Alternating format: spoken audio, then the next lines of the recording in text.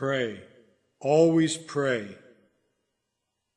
This sermon was originally preached on November 3rd in the year 1878 by Charles Haddon Spurgeon.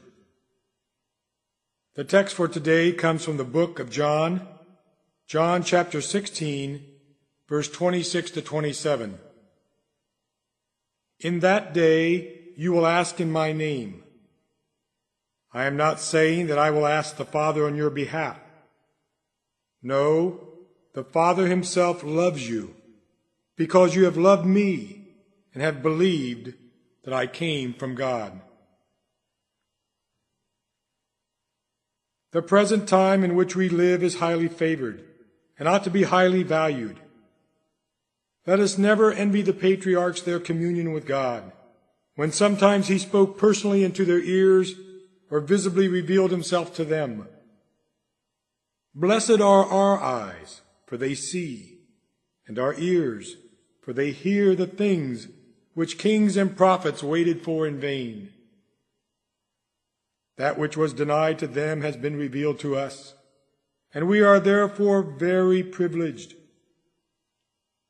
Though John the Baptist, living on the very verge of the gospel dispensation, was the greatest mere man who had been born of a woman, yet the least in the kingdom of heaven is greater than he. And we are now living in that kingdom of heaven. Although there is, at present, much to mar the glory of the reign of Christ on earth. Be grateful, therefore, O you sons of men who are also sons of God. Be grateful that you live in this truly golden age for with all of its sorrows and all of its shortcomings, it is an age of great mercy and of high privilege. I venture even to set the present period above that brave age in which Jesus lived here among men. We are very apt to look on that time as being the sunniest era which the Church of the Living God ever enjoyed. Yet it was not so. The dispensation of the Holy Spirit is of a higher order than the dispensation of the humiliated and suffering Savior. That was the day of the church's childhood, when her Lord instructed her by pictures and taught her letters, but kept back many of the greater and deeper truths because she was not able to bear them then. Now the Holy Spirit has been given to lead us into all truth and he takes the things of Christ and shows them to us. It was only the twilight of the gospel dispensation and only its dawning hour when our Lord was here. True, he is the Sun of righteousness, but his disciples only saw a little of his glory, for their eyes were only slightly opened, and they had less light from him than we have even though the blessedness of his physical, personal presence is denied to us. At that time, there was much backwardness in prayer, even among the apostles of Christ.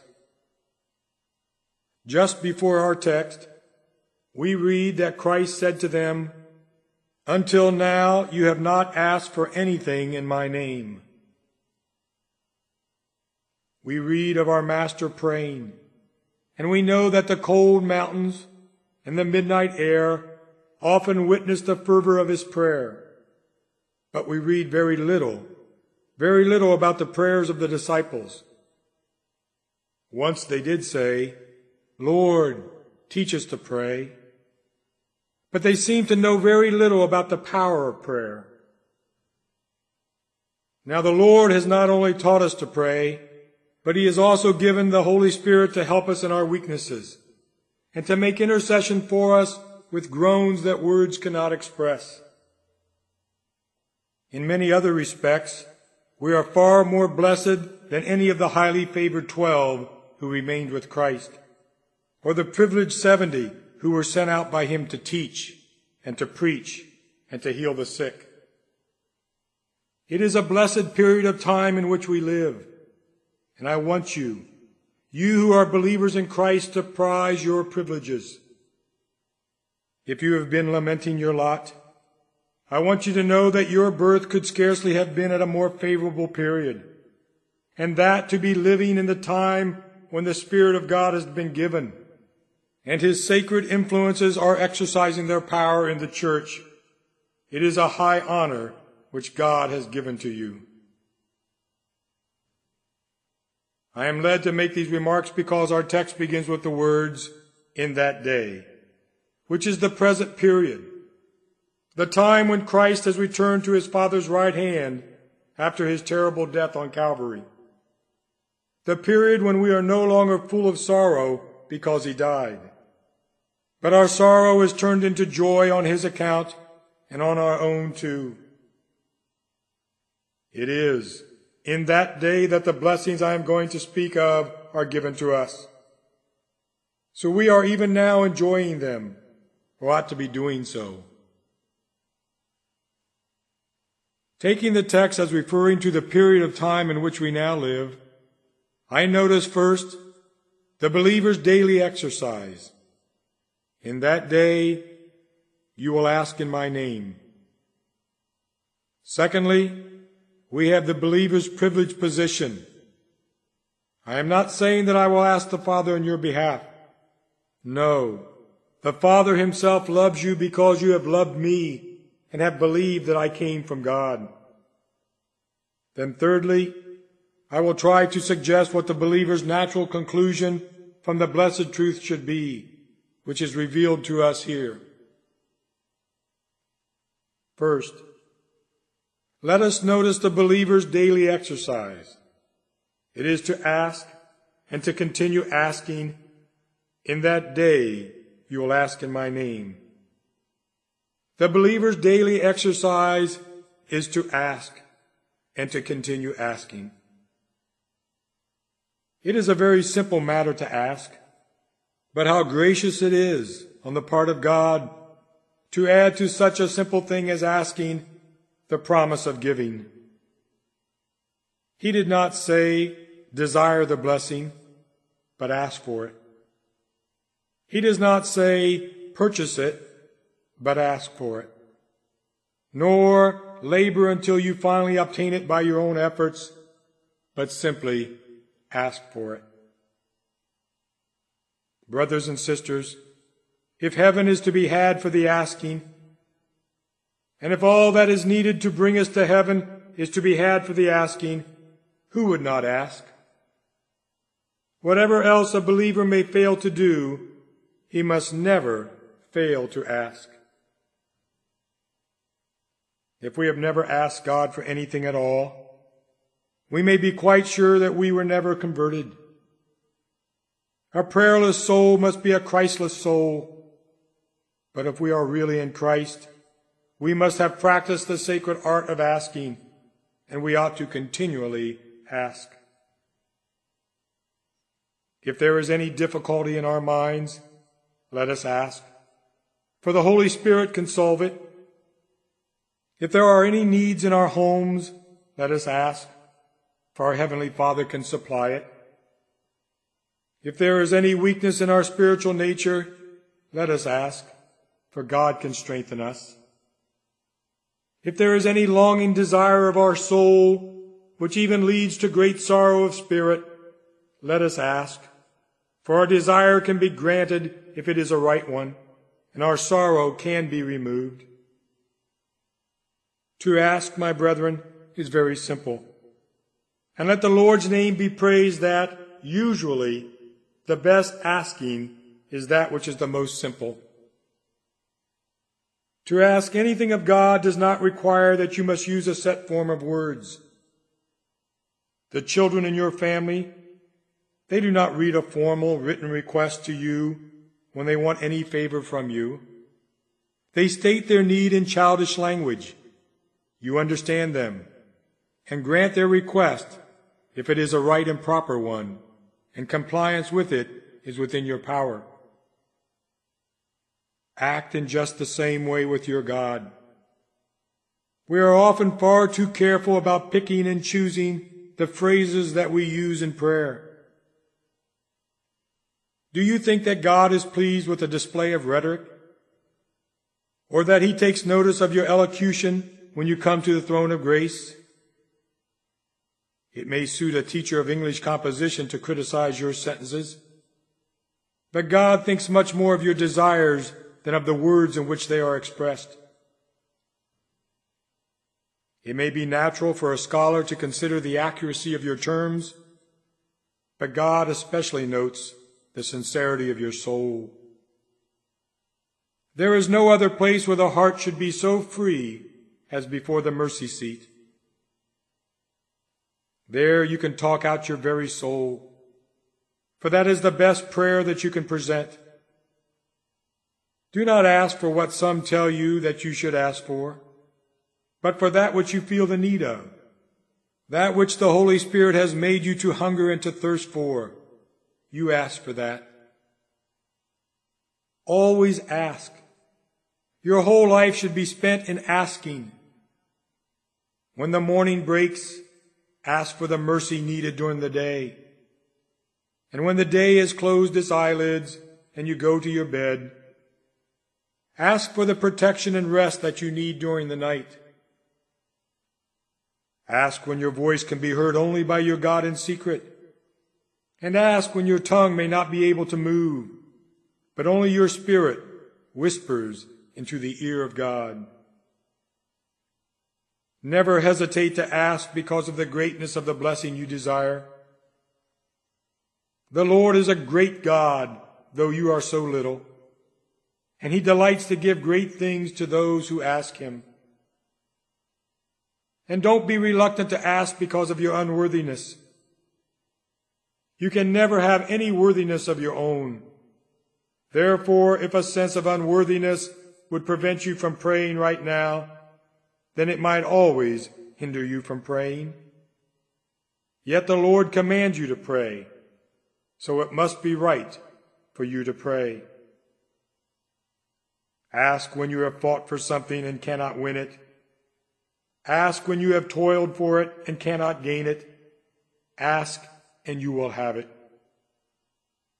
Come before God in all the rags of your sinfulness and conscious unworthiness and ask for that is all you have to do. Ask and you will receive is the message that shines out with heavenly radiance over the mercy seat. Read it and obey it. Open your mouth wide, for God will fill it. Our Lord told his disciples that in addition to asking, they were to ask in his name. In that day you will ask in my name. This is the most delightful way of asking. We often say at the end of our petition, Lord, grant it for Jesus' sake. And that is a very proper plea. It means because of what Jesus did, won't you deal well with me? I have done nothing that can ensure a favorable answer to my supplication. But won't you give it because Jesus deserves it? Oh Lord, listen to me for his sake. That is a good way to pray. But it is a still better way if you can use the name of Christ and ask in his name. You know what you do when you go to a store. When another person asks you to go there and purchase items in his name and charge them to his account? Or suppose that you have authorized your servant to go to a certain store, and you have said to the store owner, Whatever he comes for in my name, let him have it. Perhaps he has no money of his own. Possibly he is a very poor person. But armed with your authority, he can get from that store owner as much as you could get if you were to go there yourself. So Jesus says to us, use my name when you are speaking to the Father. And how far may I go in using that name? As far as Christ himself can go. Whatever power there is about the name of Jesus, whatever influence it has in his Father's heart, that power and that influence we are permitted to exercise in prayer. My Lord, I used to ask you to do certain things for your Son's sake, but now I come with a still stronger plea. For he has commanded me to use his name and to ask that you will do for me even as you would do for him. My Father, if you can refuse your firstborn, then you can refuse me. And if I am asking for something that he would not ask for, then please ignore my plea. For I desire to make this the test of my prayer, both for its extent and for its acceptance. If Christ would refuse to pray for it, then so do I. And if that which I ask for seems to be a blessing to me, but would not have seemed to be a blessing to him, then I say, not as I will, but as you will, so that I may still be able to use his name. No person in his right mind would use another person's name improperly. And if you are asking of God something for yourself merely with a selfish motive, you must not defile that blessed name of His by linking it with such a prayer as that. But using His name properly, you have great liberty and a high privilege in being permitted to come and pray, not only for the sake of Jesus, but also in the name of Jesus. Our text tells us that this asking in the name of Christ is to be the constant exercise of Christians in that day. It is to be the constant exercise of Christians in that day. What is that day according to the context? It is the time of persecution. They will put you out of the synagogue. In fact, a time is coming when anyone who kills you will think he is offering a service to God. At such a time as that, Christians are sure to pray. Today in England, we do not have one tenth of the prayer that used to go up in the dark days of Queen Mary. Ah, beloved, when brothers and sisters are in prison for the faith, when they are likely to be laid out on the rack, when the little church has to be called together because the pastor is to be burned at the stake in the morning, and the young people all want to be up early to stand around and to cheer him with their weeping eyes if they cannot do anything more for him. And when the youngsters come home and their fathers ask them why they went there, they say they went to learn the way. The way if they should have to die in the same manner themselves. Ah, then prayer is a reality. And when they gather together in out of the way corners and in lonely caverns, when they dare not raise their voices lest the watchers should hear them and take them to prison, yet in solemn undertones they cry to the Lord. It is real prayer then. It is that powerful and effective prayer of righteous men. It is then that the church of the living God really does pray. If any of you are in your own little way, subject to persecution, be sure to pray. For our Savior said, In that day you will ask in my name. Let that persecution be a sort of reminder to you of your duty and privilege. If you have been at all slack in prayer, and somebody persecutes you because of Christ, say, Now is the time for me to pray more earnestly than ever. For Jesus said, especially at the time of persecution, In that day you will ask in my name. If you read further on in the chapter, you will find that that day is when the Spirit of God has instructed the followers of Christ. He said, In that day you will no longer ask me anything. That is, you will ask me no questions, for the Spirit of God will instruct you. He will bring glory to me by taking from what is mine and making it known to you. Now the more light and understanding a man gets from heaven, the more he will pray. If there is any so-called light that makes a man lax in prayer, that light is darkness. Some time ago, when there were a great many people around who professed to be perfect, I heard of one who had grown so conceited that she said her mind was so conformed, so conformed to the will of God, that there was no need for her to pray, because her mind and God's mind were so perfectly one and the same. Yes, and when a person imagines that he is so good that he doesn't need to pray, he had better begin by crying out, God, have mercy on me, a sinner. I dare say you have heard of those people who climb so high up the ladder that they fall down on the other side. And that is exactly what people do when they begin to carry any truth to extravagance and push it to a point beyond its legitimate issues. That which makes you cease to pray is of the devil. So say to him, Get behind me, Satan. The very suggestion that you can do without prayer must have come from below. It cannot have come from above. The more the Spirit of God teaches a Christian the things of God, the more it makes him ask in the name of Jesus Christ.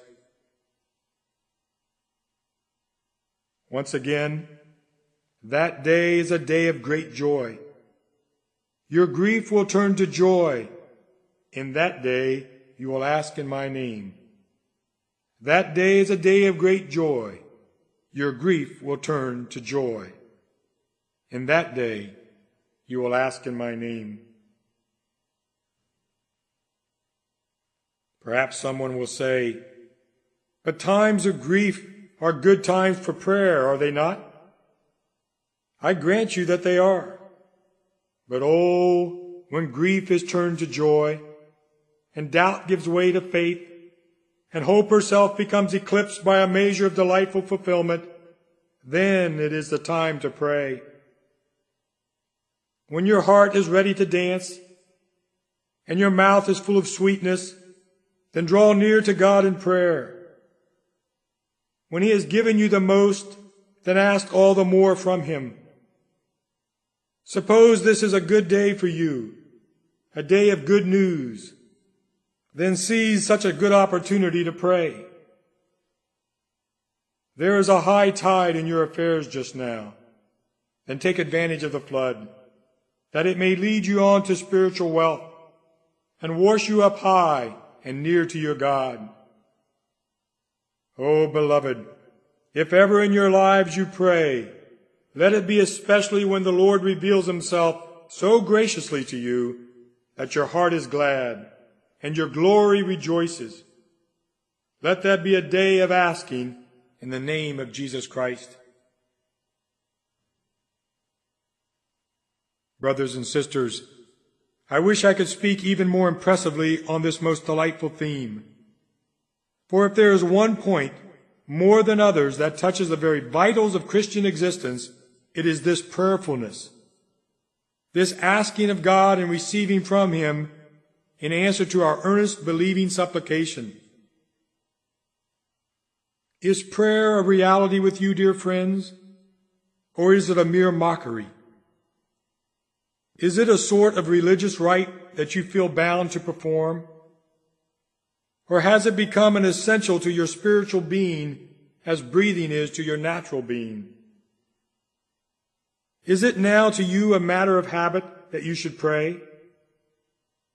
Is it as natural for you to ask your Father who is in heaven as it is for your little children to ask you who are their fathers on earth? I feel that it must be so with me, not merely praying because I should, but because I love the sacred exercise.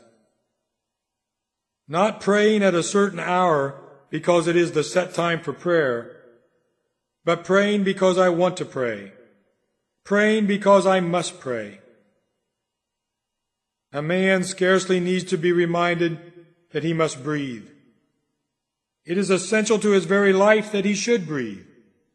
And it is essential to our spiritual life that we should pray. I never thought it necessary for me to prepare a sermon to exhort you to eat. Neither should it be necessary to exhort Christians to pray. It should be to you an instinct of your new nature, as natural to your spiritual being as a good appetite is to a man in health. There should be a holy hunger and a thirst to pray. And the soul never prays so well as when it is reminded, not by the hour of the day or night, but by its real needs. And when it goes to its place of private prayer, not because it thinks it should, but because it feels that it must, and is delighted at the privilege of having communion with its God. My object in the second part of my sermon will be to stir you up to such a feeling as that. So I will say no more on this first portion of my theme, the believer's daily exercise. In that day, you will ask in my name. Well, now, secondly, we have the believer's privileged position with regard to praying. The believer's privileged position with regard to praying. Believers ought always to pray because first they have the Holy Spirit to prompt them.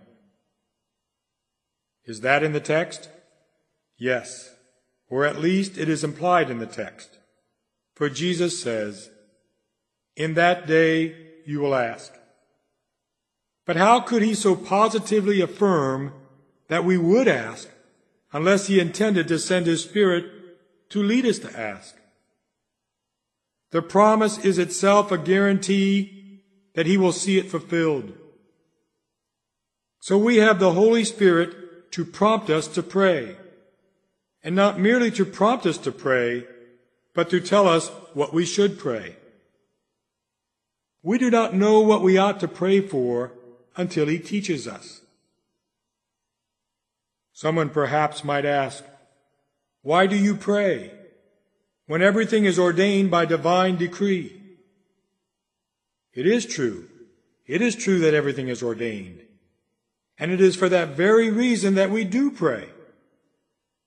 The Spirit of God leads us to desire exactly what God has decreed. And though we cannot open and read the book of His decrees, the Holy Spirit can read that book.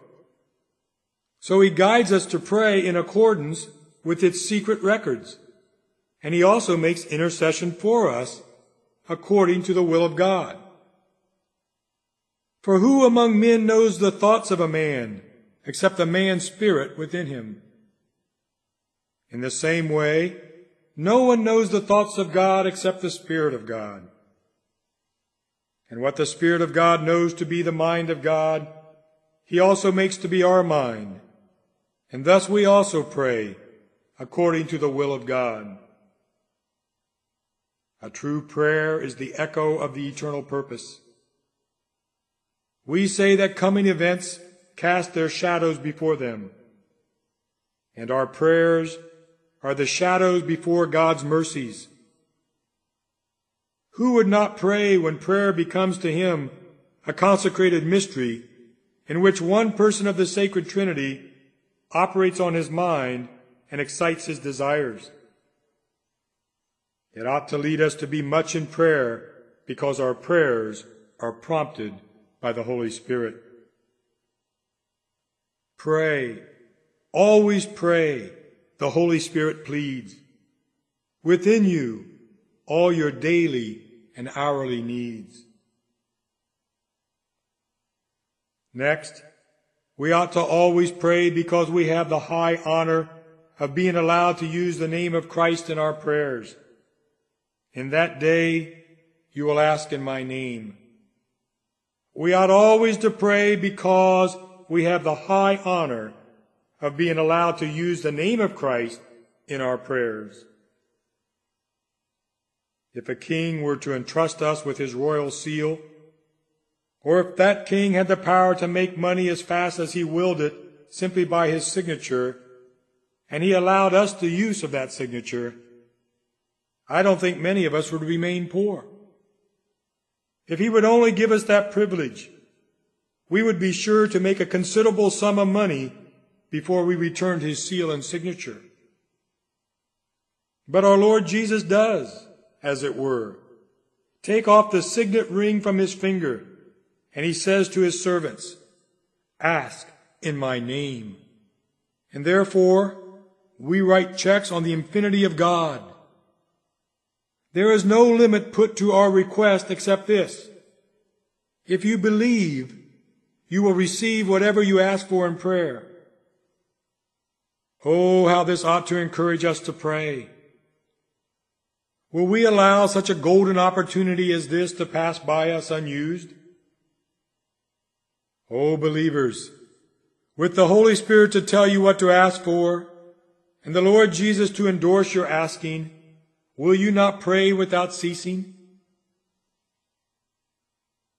But beyond all this, there is the great encouragement to constant prayer which we derive from the fact that our Lord Jesus Christ is continually making intercession for us. Our poor prayers are blotted and blurred and stained with sin, but our great high priest sprinkles them with his own most precious blood and so purifies them. And then, with his own dear hand, he lays them before the mercy seat. And for his sake they are sure to be accepted. If anybody does sin, we have one who speaks to the Father in our defense, Jesus Christ, the righteous one. And he is always pleading for us. So, as we have a divine intercessor who never forgets to present our prayers before his Father's throne of grace, how boldly ought we to come to the mercy seat, and what great things we ought to ask of God in Christ's name. Our text, however, seems to suggest to me that our Lord Jesus wished to prevent his disciples from making a mistake concerning his intercession. So on this occasion he said, I am not saying that I will ask the Father on your behalf. There was no need that he should say that just then, for he had said it a great many times already. So he did not need to repeat it. But at that time, he seemed as if he meant to say, I don't want you to exaggerate even my intercession at my Father's expense. I will intercede for you, but you must not imagine that I do so because my Father is unwilling to hear you when you come to him in my name. You must not get into your minds the strange idea that, by my pleading, I will make my Father willing to bless you, for the Father himself loves you.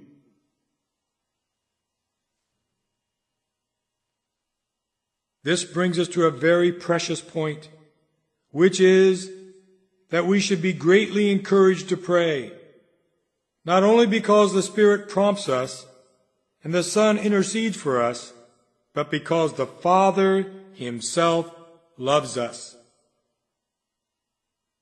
We should be greatly encouraged to pray, not only because the Holy Spirit prompts us and the Son of God intercedes for us, but because the Father himself loves us. Oh, how we ought to pray now that we have the ear, no more than that, the very heart of the King. To have such a teacher as the Holy Spirit and such an advocate as our Lord Jesus Christ ought to be a great encouragement to us. But to have the heart of the King himself is best of all. The Father himself loves you. You know, dear brothers and sisters, that shallow thinkers often make mistakes concerning the Father and the Son in relation to the atonement. They think that the atonement of Christ was necessary to make the Father love his people. Whereas the truth is that the Father, because he loved his people, gave his one and only Son to make atonement for them. God was always love, as truly love as the Son was and is. We must make no mistake about that matter. So concerning Christ's intercession, there is a tendency in certain quarters to fall into the error of supposing that the Father is difficult to please and that Jesus must pacify him before he will grant our request. It is not true, for the Father himself loves you. I think that when a sinner is coming to God, he had better first fix his eyes wholly upon Jesus the mediator. But as for those of us who have believed in Jesus, we are forgiven. We are in a totally different position from that in which the unbeliever stands. We have had our sins forgiven, and we may come directly to the Father himself.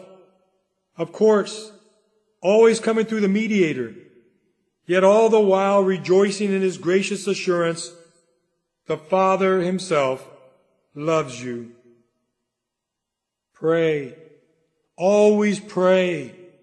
Though weary, faint, and alone, prayer brings us close to the Father's sheltering throne.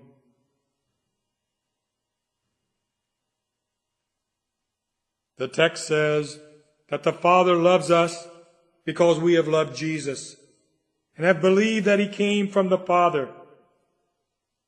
Don't make the mistake of imagining that the love of God to us is caused by our love to Christ. Oh no. We love him because he first loved us.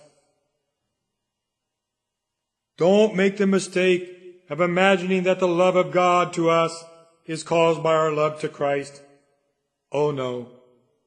We love him because he first loved us.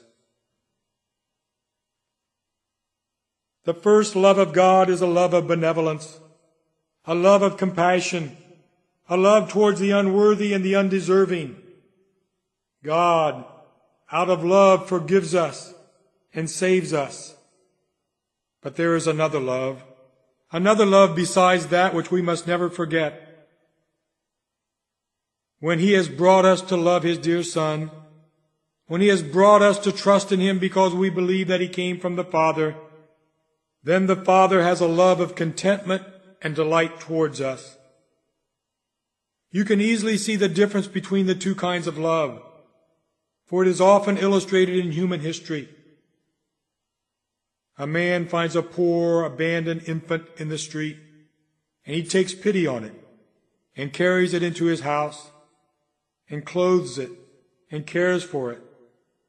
That is one kind of love, the love of benevolence. But suppose that child develops into a beautiful boy or a lovely girl, who with charming manners works their way into the very heart of the one who was so kind to it in earlier days. Then there springs up a second kind of love.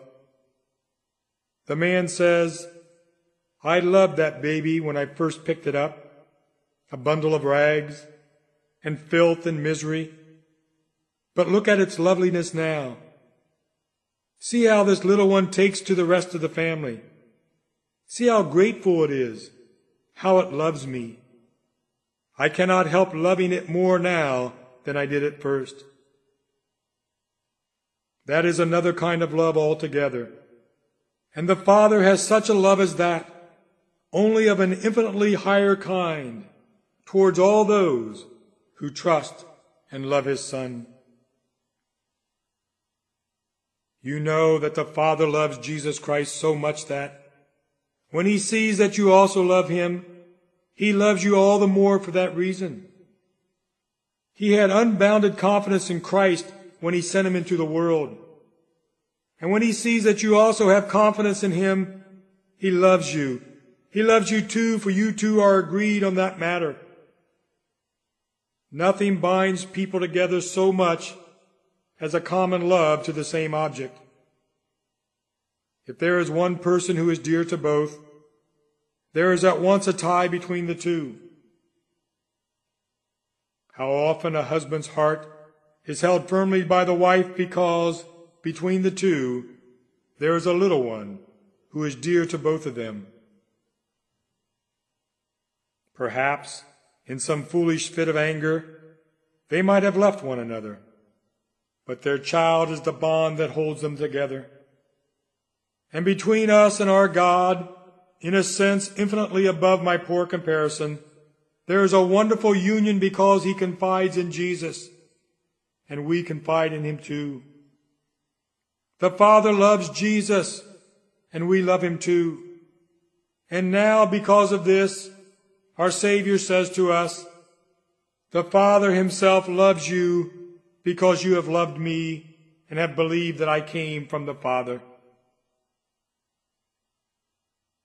I cannot explain this marvelous mystery, but I want you, you who know that you do in fact love Christ and believe that he came from God, just to open your hearts and try to take in this sublime truth. The Father himself loves you, not pities you, not promises to help you, not considers you, but the Father himself loves you. It is no use attempting to explain what love is. You must feel it if you would realize what it is. You didn't doubt your mother's words when you were little, and she took you into her arms and said, I love you. You believed her. You rested in her love and you returned it as much as you could. So the great God of the universe says to you, I love you because you love my son. There are many faults and failings in you, but you love my son, so I love you. Didn't you just say, Lord, you know all things. You know that I love you. You said that to the Lord Jesus, and because it is true, the Father himself loves you. I remember when one of the sweet passages in the Song of Solomon came home to my heart with absolutely ravishing power. It seemed to carry me right out of myself. It was that verse in which the heavenly bridegroom says to his spouse, All beautiful you are, my darling. There is no flaw in you. That is what the Father says to his people when he sees them in Christ. When he perceives that they love Christ, he says that his delight is in her. The Father himself loves you. This little sentence is not so much a theme for preaching as it is quiet meditation. You need to get alone in your bedroom and to sit down and just ring that silver bell again and again and again. The Father himself loves you. Loves me? Why should he love me? How can he love me? Yet Jesus knows, and as he says it is true, then so it is. Glory be to his holy name. I only have a little time left to speak, to speak of the believer's natural conclusion, which he is to draw from these words of Christ. First, he says, If all this is true, then what power I have. What power I have at the mercy seat with the Spirit to prompt me, Christ to plead for me, and the Father himself smiling at me as I come and saying to me, Come and welcome, for I love you. No one can be more welcome than you are. Come, my child, ask what you will, and it will be done for you. But, beloved, have you ever really believed that you have this power? Haven't you asked and hoped when you ought to have asked and believed?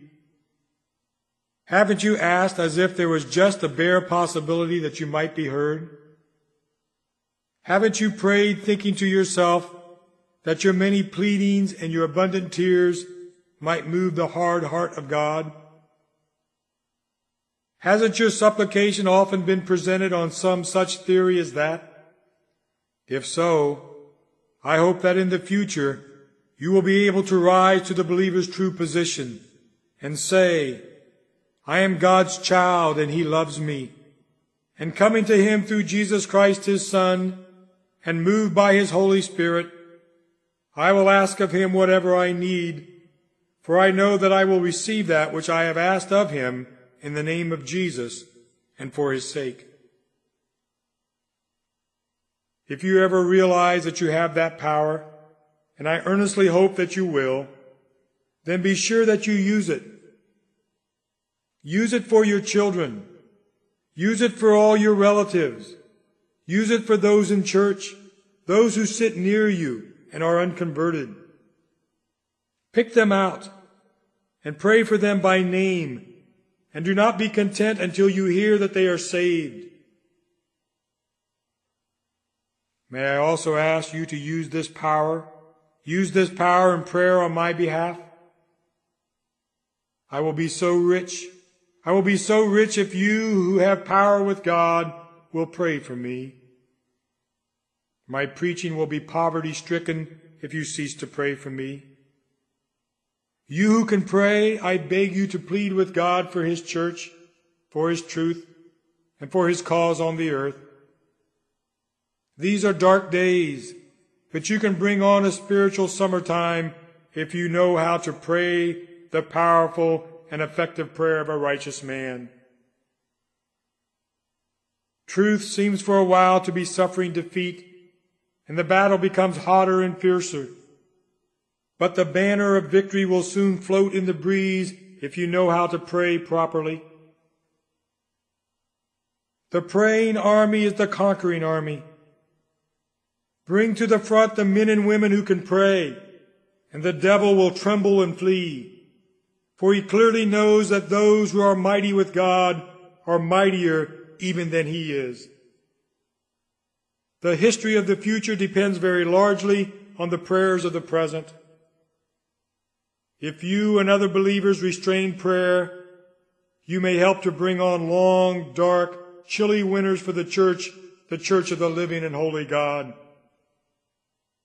But if you and they are aroused to go up, as Elijah went up to Mount Carmel, and if you cry out mightily to the Lord God of Israel, surely as the Lord lives, you will see the skies covered with clouds and there will be the sound of an abundance of rain. I speak reverently, yet truthfully, when I say that the keys of heaven swing on the belt of the man who knows how to pray. I don't mean commonplace praying, such as some practice, but such prayer as I have been speaking of, prompted by the Spirit of God, first purified and then presented by the Savior, and offered by a man who knows that the Father himself loves him. I am awestruck when I think of the tremendous power of which prayer is capable. It is not omnipotent, yet it commands omnipotence.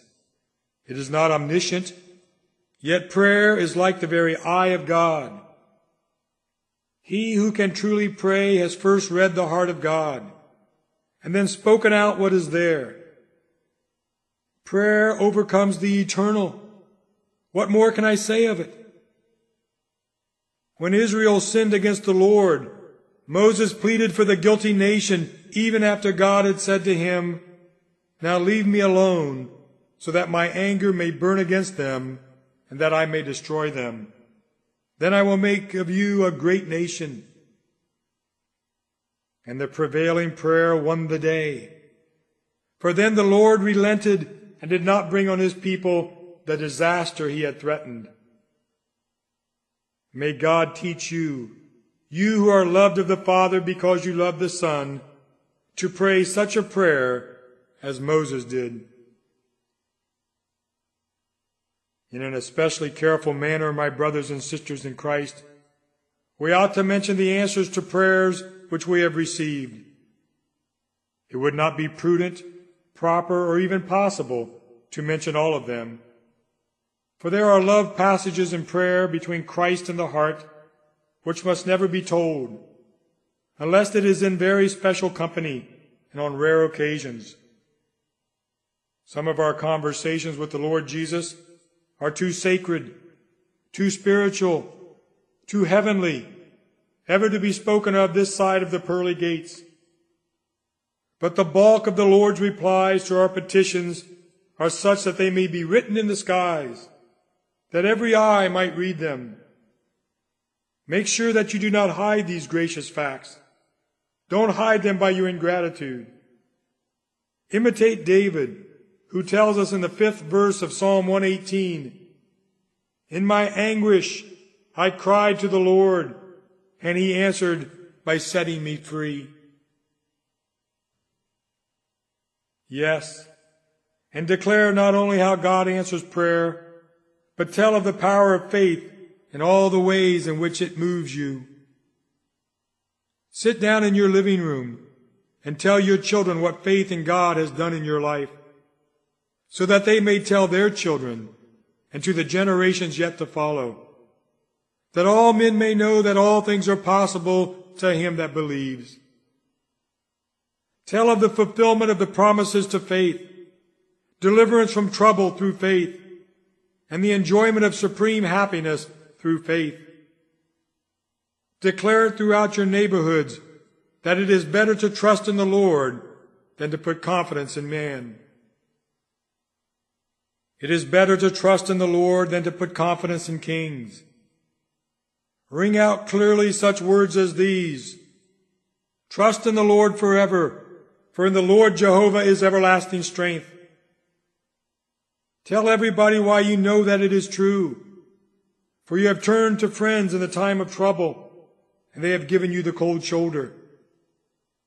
You have even been foolish enough to hope for help from great men who had it in their power to aid you, but they've looked down on you with disdain and wondered how you dared to ask them for such assistance from men of their high standing. Let all men know that the majesty of heaven has never in this way ignored your humble appeals. From the throne of the highest, there has never come a harsh reply or a contemptuous rejection of your lowly position. No, the Lord has been better to you than even your hope expected or your faith believed. God has answered you richly, helped you efficiently, gladdened you abundantly, and filled your spirit with a sweet contentment. Truly, God is good to his people. It is not a vain thing to wait upon the Lord. The path of faith is the path of strength and safety. How unhappy are the lives of some here today who never pray. It matters little what other power you possess. If you have no power with God, you are powerless.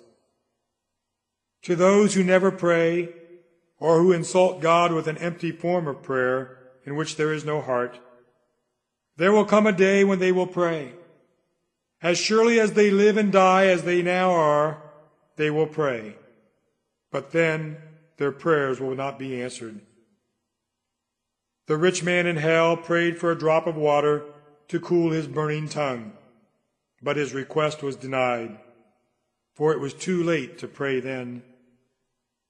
Yet he might have had the water of life to drink had he prayed while he was on the earth. It is in hell that prayer of a sort abounds, but then their prayers will not be answered. Since you rejected me when I called, and no one gave heed when I stretched out my hand, since you ignored all my advice and would not accept my rebuke, I in turn will laugh at your disaster. I will mock when calamity overtakes you. Ask now, I beg you, for God will hear you if you call on him now. But once the owner of the house gets up and closes the door, then no amount of knocking in that day will cause him to open it up again. No pleadings, moanings, groanings, cryings, wailings will have any effect. For prayer will have had its day, and justice with its drawn sword will stand before the mercy seat, barring the way to it forever. May the Lord bring every one of you to believe in Jesus Christ and to fervently love him with a pure heart before it is too late. For his dear name's sake.